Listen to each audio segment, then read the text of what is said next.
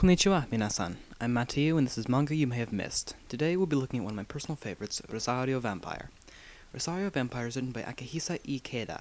It began serialization in Monthly Shonen Jump in 2004 and ended in 2007.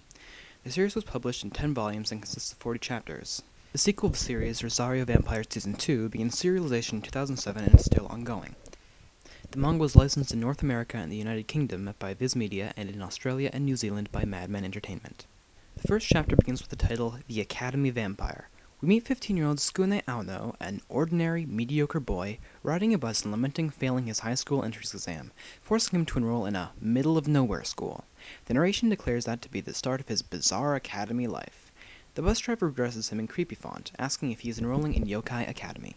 As Tsukune gets off the bus, the driver warns him to be careful, with good reason, as they have arrived in a truly creepy location a castle like building complete with cliche lightning flash, crows, a couple of skulls on the ground. Tsukune is understandably confused as they had been driving through a completely normal road earlier. Tsukune decides to leave immediately, creeped out by the locale. Unfortunately, the plot catches up with him as he is run over by a girl on a bicycle. When he overcomes his momentary shock, he's at first astounded by the fact that there is a female presence in front of him.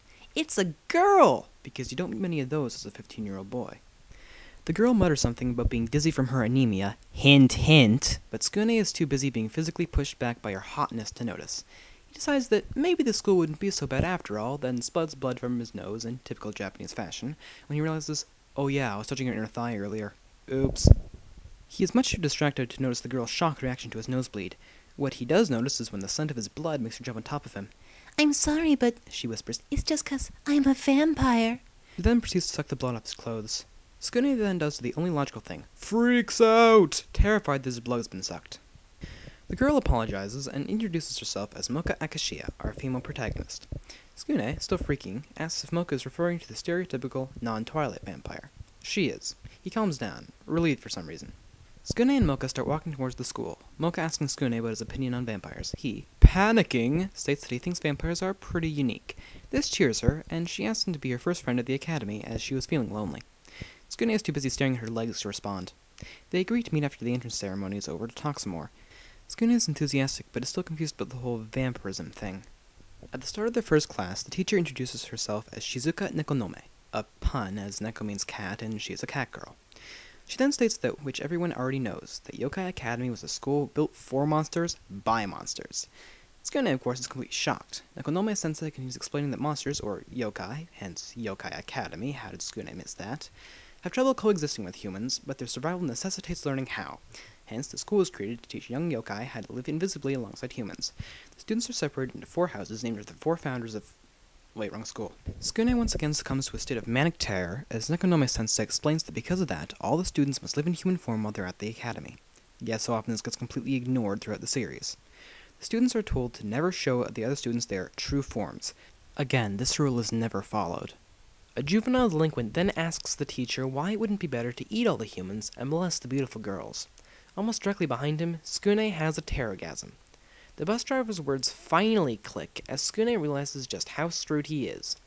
Nekonome ignores the question and goes on to point out that everyone in the academy grounds is a yokai, and that there are no genuine humans there because the academy is within a secret, sacred world. To those humans who come to know of our existence, we will bring them death or something. This sets Tsukune into another terrogasm. He then wonders how in the hell he got into the school in the first place, and flashes back to his father bringing home a flyer from the school. We then learn that Tsukune actually has the most sense in his family. As mom and dad party, he demands to know where the flower came from. Dad says he picked it up after a creepy priest dropped it. Tsukune then declares that he won't go to such a suspicious school until he's overridden by his mom. Back in the present, Tsukune decides to escape the school ASAP when who should come late to class but Moka. She draws the attention of every male in the class who loudly declare how happy they are to be in the class, until Moka sees Tsukune and flings herself into his arms. This causes the entire male population of the class to hate Tsukune's guts, all save our juvenile delinquent who sits back and licks his lips. Tsukune, paralyzed by hormones, decides that if I can be this happy, I guess the monsters aren't that big a deal.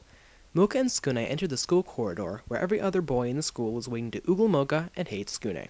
The delinquent from earlier stops them in the middle of the hall and introduces himself as Saizo Komiya.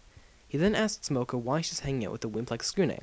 The background chatter in the hall informs us that Komiya is a rogue monster, forced to attend the academy against his will, and has a habit of molesting human women. Sounds like a lovely young man, doesn't he? Komiya then tells Moka to ditch Tsukune and go off with him to have some fun. Moka responds by dragging Tsukune away and stating, I'm having fun with Tsukune right now. Either she missed the euphemism entirely, or Tsukune is going to have a very good first day of school. Komiya then vows revenge. In a stairwell, Tsukune asks Moka why she's being so friendly to him, even though he is worthless and mediocre. Moka then bursts out that to her, Tsukune isn't mediocre or anything. Besides, we're on blood-sucking terms. She then explains that Tsukune's blood is the best she's ever tasted, better by far than blood from transfusion packs. Tsukune naturally dislikes being treated as food. Moka then informs him that that was her first time. Tsukune was the first person whose body she had ever fed from. In short, Tsukune stole her blood-drinking virginity. She then punches his shoulder good-naturedly and embeds him in the wall. Then there's a montage of them exploring the campus, Tsukune feeling like he's on a date, until he sees the dorm rooms which resemble a decrepit apartment building. Moka, on the other hand, sees it as incredibly beautiful. Confused by his negative reaction, Moka then asks what kind of monster Tsukune is, making him panic for a second before retracting the question, as it would violate school rules. He then changes the subject as he tells Moka that he can't see her as anything but a normal human. Moka then reveals that if you remove the rosary from her chest, she becomes an evil, scary vampire. Gentlemen, if you're waiting for an opportunity to look at her chest, now would be the time. Moka explains that rosaries conceal vampiric powers. She put it on herself because her evil form caused conflict and was hated. Tsukune is still incredulous, but forgets that as Moka starts caressing him, stating that sealed vampires retain their craving for blood, her weakness. And she bites Tsukune's neck. Capucho! The next morning, Tsukune is pondering handing in a withdrawal notice when he is ambushed by Komiya, who slams him against a wall, stating that Tsukune will pay for spending time with Moka. He then demands to know what Tsukune's true form is. Tsukune declares himself to be a vampire, which makes Komiya attempt to shatter his skull. Vampire seriously pisses Komiya off, as he threatens Tsukune with a giant hand, stating that if he talks to her again, he's a dead boy. Yep, not man, boy. Tsukune paces in fright until he is once again haped by Moka. He backs away from her in fright, declaring that he wants to go to a human school to Moka's puzzlement. She protests his decision, stating that she hates humans. She then explains that she attended human schools up through middle school and was isolated and alone until she met Tsukune. Tsukune then decides that Moka deserves the truth and asks her if she would still stop him from leaving if he was human. This leaves her speechless until Tsukune bursts out that he is a human and that his being at Yokai Academy is some kind of mistake. Moka is still stunned. Tsukune sees her expression and states that she is shocked because of his statement. Moka puts a hand on his shoulder to stop him. Let go, you hate humans, right? Oh, and excuse me for being a friend to a monster. Ouch. He then runs off into the distance. Tsukune stops at the edge of the school property and ponders his decision. The bus pulls up and the same creepy bus driver says he knew Tsukune would run away. He says that it's fine and tells Tsukune to board the bus if he has no regrets. We cut to Moka, who is on the verge of crying due to the loss of her first and only friend. Komiya then appears behind her and grabs her, saying that she shouldn't be alone if she can be with him, once again licking his lips. Meanwhile, the bus drives away. Moka and Komiya are suddenly in a graveyard, Komiya throwing Moka against a headstone. He then tells Moka that she is even more beautiful than the human women he's molested. Yes, because every girl wants to hear that. He then states that he can't contain his human disguise any longer and transforms into. I'm not quite sure what. Moka screams for Tsukune's help, forgetting that he's a puny human who couldn't do anything in this situation. Except maybe die. As Komiya wraps his giant prehensile tongue around Moka, ew, Tsukune arrives to save the day. Apparently, he has something to say to Moka. But Komiya is having none of it, reminding Tsukune but is warning to avoid Moka.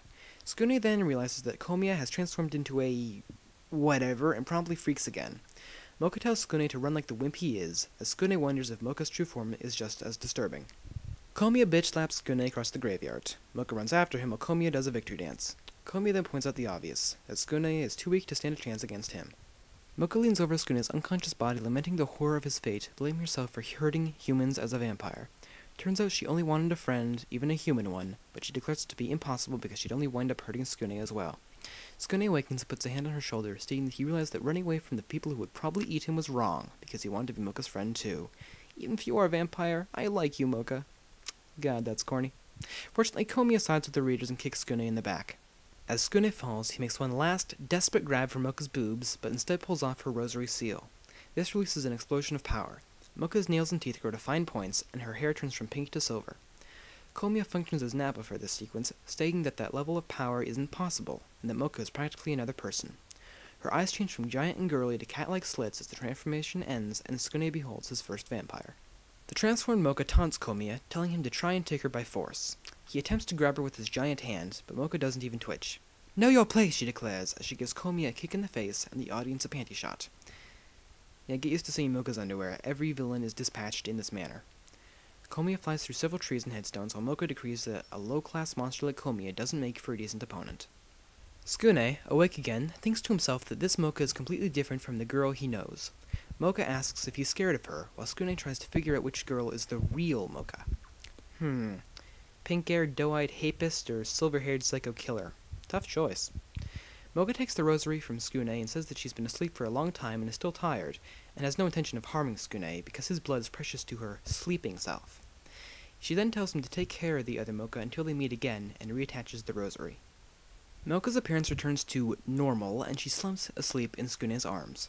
The bus driver, who apparently didn't leave, marvels in his creepy way at Tsukune's courage for staying at the academy. The next day, as Tsukune is ripping up his withdrawal notice, Moka greets him in her special way. Tsukune smiles as the notice flies off into the wind. Make no mistake, there's a lot of anxiety about this, but I found something at this academy that's impossible to get anywhere else. Moka then tells him that her heart beats so hard when they're together, juxtaposed with her chasing him through the school, asking him to suck his blood, and once again pissing off the male students. The end. Rosario Vampire is one of my favorite manga, and I swear I read it for the plot. That said, the plot is the main thing that makes up for the gratuitous fan service, panty shots, etc., which is my main problem with the anime adaptation. The 13 episode anime Rosario Vampire was aired from January to March 2008. It was produced by Gonzo and directed by Takayuki Inagaki, written by Hiroshi Yamaguchi. The problem with this is that the 13 episodes only encompass the first arc of the manga. This in itself is not a problem until another 13 episode series, Rosario Vampire 2 Kapu, aired in 2008. Instead of continuing the series, it decided to jump ahead to season 2, ignoring most of the major plot points and several characters' backstories and story arcs.